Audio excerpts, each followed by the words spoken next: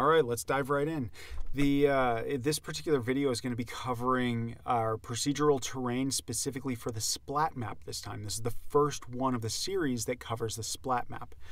So the splat map with this one, I have two layers that I'm going to be working with. And you can see that we can just draw with them and create these interesting textures and colors and I can set it to blue. There's also black in here.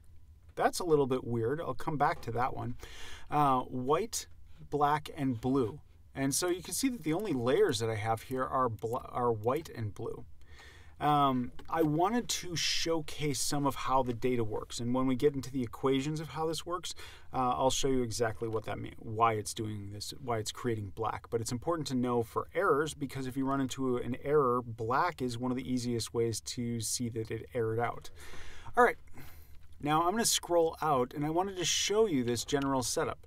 Um, right now I can just draw on here and create all this whatever I want to of whatever color or whatever one of these palette items I have. Now over here I have the paint layer. If I change its size, you can see it just redraws it. So now I've got the same stuff happening like I did before um, to actually offset this. Now I want to show you, look at the square size. It's 289. If I go over, keep dragging this and keep dragging this, um, then you can see it gets up to 512. Well, went to 515. Let's put it 512. 512 is the size of how much this takes. So there should be no white edge anywhere. Okay. So effectively, there is no white edge, at least according to where I just pointed you to. um, so let's take let's continue taking a look at this.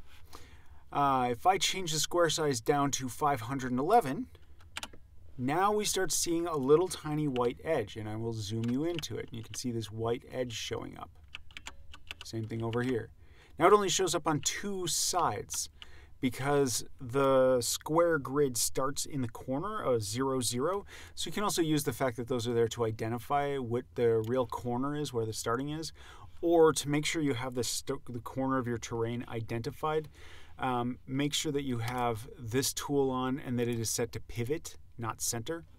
So over here, both of these sides will still be black. There. Even though the other edge is showing white. Okay. So now let's actually change this up. So 512 divided by 8 to get a chessboard is 64. Uh, so we put 64 in there, and now we've got a chessboard set up. So what's important to know is the size of your resolution here matters. Now, that is not going to match the matter the resolution of your height map. Your height map, let me go into the construction wheel, and this one, the last time we were working with it, was 129. The control texture resolution, that is the splat map. I don't like the fact that the Unity terrain system has so many different names for things. So in this place, we're calling it the control texture resolution. Um, in the code, we're going to call it the alpha map. And what we refer to it most predominantly uh, when just referencing this stuff is the splat map. Okay, so I just wanted to point out where these values are. If I were to go up in resolution, we would see no change here. So let me go up in resolution. You can see it's still sharp edges, you know, relatively sharp to where uh, terrain normally does. If I were to drop this down to say 256, it starts getting more blurry. And you can see it's getting more and more blurry along the way. These are starting to disappear more and more. Um, so I'm going to put that back. Uh, so if I go back up to 512, you can still see that it mostly kept its exact same positioning and size. Um, but that blur is still there, at least until I trigger a change here. So let's just go back to six and four. We got my chessboard. All right. Now, it looks like there's a break here that's actually a terrain height difference. I can prove it with uh, this shadowed wireframe. See that one coming up? Uh, it stood out to me just a second ago, and I was wondering, why am I seeing an edge there? All right, so let's start taking a look at the actual code for this. This is following the same terrain mod layer system I did I showed in the previous videos. Uh, for I believe the first one I did was where we started putting in island layer, um, or certainly had it in place by force graph layer and was still explaining it there. Okay, but I'm not going to re-explain it every time in here. So now we've got this one. Um, it's black in here because of an error I left in the code to demonstrate this, that I can have that in here. Let me go ahead and put on paint for a second. Uh, if I put on paint, you can see it's blue and white. And I can paint it. There we go. Um, that is because there are only two layers in there. But if their layers all combine to a value of zero, it's literally black, no lighting, no nothing, no outline. It's just black. Okay, so now let's go into the code of this. How does this work? Our mod layer, our height painter, which to point out, this will be changed into a gradient height changer. Um, and later on, we can add all sorts of other effects for intelligently coloring sections of the terrain. So inside of here, we see the splat map, uh, and that is effectively a 3D array. So we have the X, the Y, and the layer count.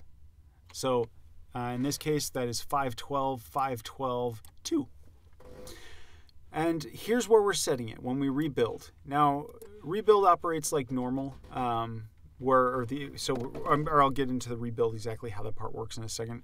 Apply works like normal. If the splat map is null to begin with, we trigger the rebuild, um, but otherwise we go back to uh, uh, once we have it, then we just say, okay, take the terrain data. This is the same terrain data you can get off of terrain.terrain data.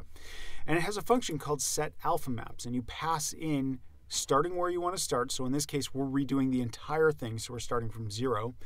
Um, and then we put the splat map on, that 3D array of values, uh, of floats, uh, where one for a particular layer is, that means that layer is at 100% of its view.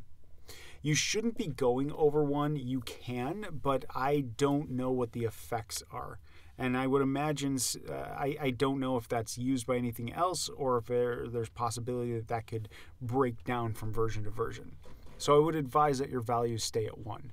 But feel free to check it. Okay. So in this, we regenerate our splat map. As soon as we rebuild it, we just create a brand new splat map. Okay, uh, now uh, we're going to set all the values. Ideally, we don't even need to set this here. This would probably be better if we just kept reusing the same piece of memory rather than triggering garbage collection on such a large array, because this is huge, by the way. 512 by 512 is 262,000, so about a quarter of a million. Uh, we end up with here. And then we have layers to account for as well. So that's 500,000. That's over 500,000 and we end up th- this is floats. So each one of those is taking four bytes. So that is uh, what is two megs?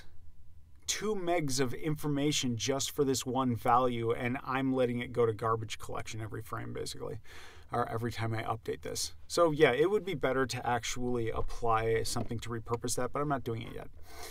Okay um, now I'm going to skip this one for a second, and we're doing the same XY loop. We'd go through every single X and Y that we have for uh, inside it from zero to the alpha map width. Remember I said that that control texture or splat map is also referred to as alpha map. So here is our alpha map and the function for set alpha maps.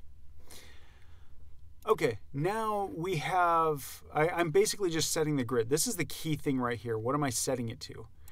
Um, this one you'll notice I have I have two odd things here. So I have the x and y, so we're setting it for the x or y position, and it's an else statement. That's how we're we're doing some math above here to figure out where on the square grid we are.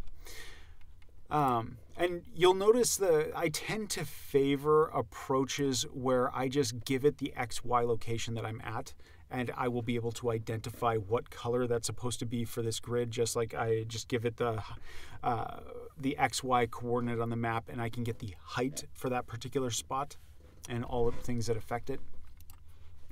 Um, so I'm doing it the same way here. There are certainly other ways I could have done this where I'm simply adding to uh, an integer and uh, subtracting it again and resetting the colors every single time, just putting a simple counter in here. And that would work too. Um, anyway, but this is a way to get the square grid math to work. Um, this is another one right here. Uh, there's two different ways I could have had this, and depending on how you look at it, it's easier to understand. But I'm not here to show the square grid. Uh, but if the, if you did want to use it, you could also turn on this one and then just have y on for this if statement. If y on, then splat map this, else do that. Okay, key importance here is I have the x, y, and then the layer. You can see I have layer 0 and layer 1. If the, the value of both of these layers combined should come out to 1. If you don't have anything, you're basically telling it, um, okay, what is the what is the color of the pixel I'm setting here? And it takes a look at it and it says, okay, well, there's blue in it. Um, so we're passing in blue, or I guess in this one, this would be white. Uh, and we say, okay, so the white one, the, the zero layer in this case was white. Um, it's 100%. So our first value is just white. Now, let's say that it was, uh, that we didn't have that. That we set it, uh, instead of setting the value of to 1, we set the next layer to zero, which it already is zero. So that effectively does nothing. Um, it's as if this line didn't even exist. So in this case, we set this to one, uh, which this is ideally what it's supposed to be. Uh, we're basically saying 100% should this this particular spot should be 100% blue, and this particular spot should be 100% white. Okay, so if I save this and return to the code, the whole thing's going to turn blue-white. So there, we now have blue-white. There's the little black dots that are showing up from the gizmos from some other tools. Uh, but this is the the height map or the, the the color map for here. Again, I can do I can select this and I can paint the textures, select a layer, and I can still paint and whatever this happens when I'm modifying this. It just gets rid of it. Okay, so remember, if all of your values come to zero, or in this case, one of the settings will be, in one case, every one of the squares, uh, one square, every other square will be black. Um, Identifying the fact that black is a point of failure is a quick way to identify when there's something wrong with your code. I do not advise testing in the first place using uh, black textures. I also don't advise using white textures. My original color choice was red and blue, I believe I chose. Uh, white, white and black was a little more contrasting, and now I'm back to, uh, mm, let's see, what was that, white and blue. Okay, um, so if you're combining them together, remember it's taking a piece of each layer and it's adding them together. So it's 0.5% times the color value uh, of this one uh, to get the first float, like how much of that is going to show up through. All right, uh, I think those were all the key issues. If you want to, you can check out the math. It's basically we're just doubling the size of the square, and then we're uh, doing a remainder on it. We're getting a remainder, so we're dividing this by double the size of the square. And if it's greater than the square size, uh, and I'm doing a plus one because otherwise uh, a pixel of one, a size of one, would never work because one is never going to be greater than one. Uh, so we never end up with something different, and so that first stripe will always be the same color. Okay. Uh, anyway, so that's the reasons for that one. And then we set the splat map. Uh, we apply it here in set alpha maps. And that's working in the terrain editor. The same general functionality uh, works inside of runtime as well. All right, uh, if you have any questions about this, if you have different directions you want to see me cover on this, I am planning on turning this into a gradient height map and then adding some intelligence for uh, those particular node values to identify that we need different things inside of different areas of the terrain. All right, uh, that's it. Talk to you later.